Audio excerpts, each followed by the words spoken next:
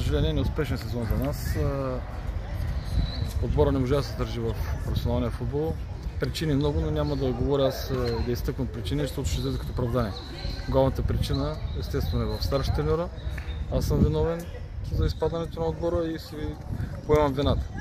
С спекулациите за моята оставка, понеже чета напоследък, е подавана многократно. Аз не съм бил отговорен човек и като виждам къде отиват нещата, съм го направил това действие. Но, докато ръководството реши, аз бях длъжен да си изпълнявам задълженията като старши треньор. Сега след последния матч? след последния матч нещата са ясни. Може би ще станат ясни следващата седмица. Черноморец трябва да тръгне по друг път. Черноморец ще има нов старши треньор.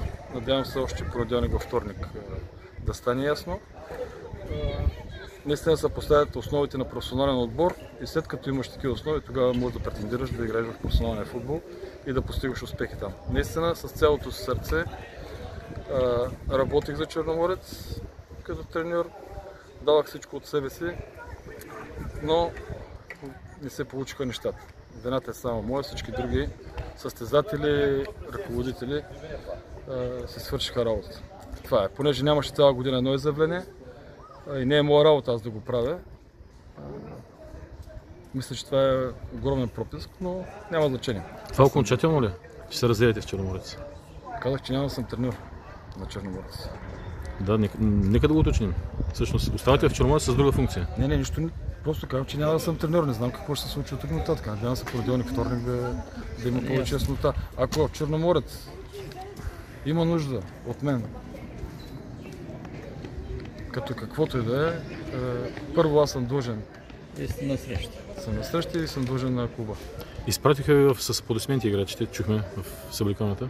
Радвам се, че е така, защото беше наистина трудна седмица, когато вече е ясно, че на теория си, си е изпаднал. Много трудно се събират състезатели чисто психологически.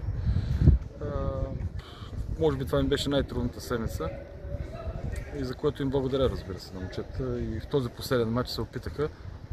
Ако трябва да бъдем честни, почти не се сещам отбор, който да не е играл. Вие сте свидетели на това. Но голяма част от мачовете така не достигна опит. Имал шанс, може би, но... Ай, аз съм човек. Успех! Всичко добро.